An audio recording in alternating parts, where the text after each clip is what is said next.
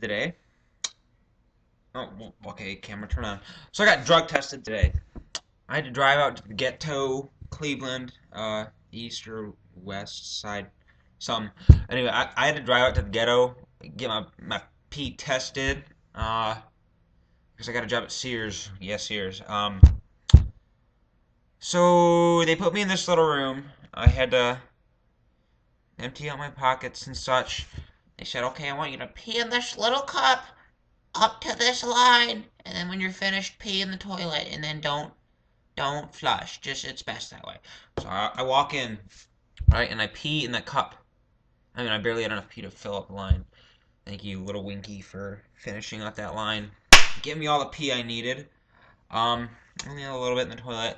I get out, and I, I, she doesn't even make me wash my hands. I'm just touching everything all over the, the doctor's office here, and uh, I'm infecting everything with my urine. But yeah, um, after that, she put my pee in this other little thing, and it was all fancy, and I just signed it, an initial, whatever. Uh, you know, it was really weird. Drug testing isn't really something I've been thinking of doing or ever wanted to do. Uh, I'm not really sure if I'm gonna pass. I mean, I should, because I'm a good kid. Except for when I'm not a good kid, because I'm a bad kid. Uh, yeah. So then I, I got my, my booty back into my mom's minivan, which I had to use for the commute because, you know, the Beamer's in the shop, because, you know, I drive a Beamer and whatnot.